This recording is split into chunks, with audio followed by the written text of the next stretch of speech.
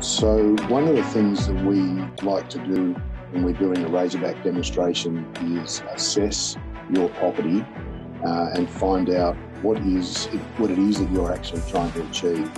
And when I turn up to your property, one of the things I'll do is ask you lots of questions about how you're currently maintaining your property and what are the areas of concern that perhaps you might not be able to cut right now.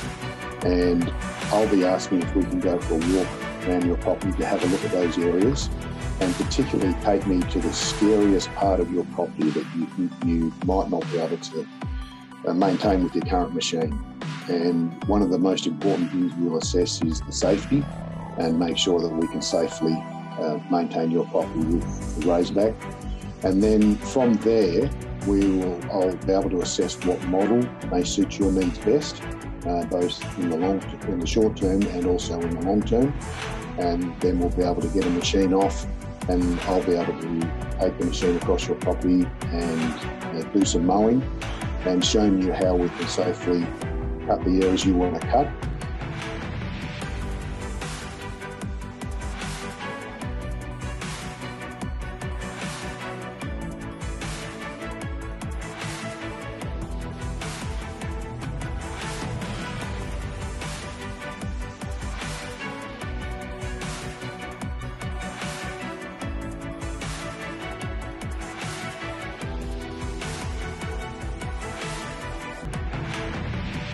And then from there, you're free to have a go yourself. And I'll show you how to drive the machine and how to do it safely and comfortably. And um, you can make your assessment.